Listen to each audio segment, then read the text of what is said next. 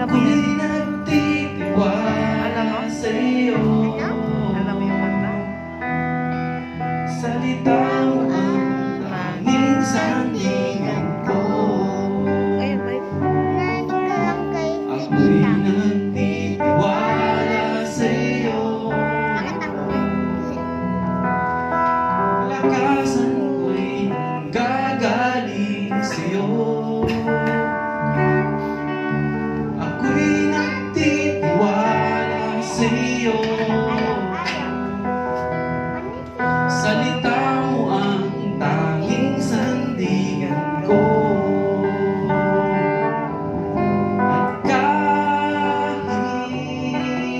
anumang panahon Mabigat man ang naging sitwasyon Ikaw lamang ang sandigan Panginoon Jesus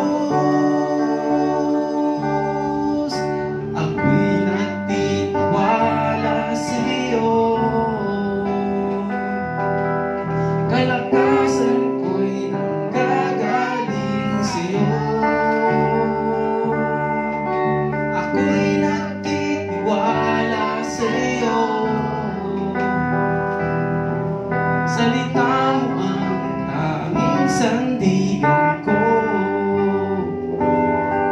Salita mo ang tanging sandigan ko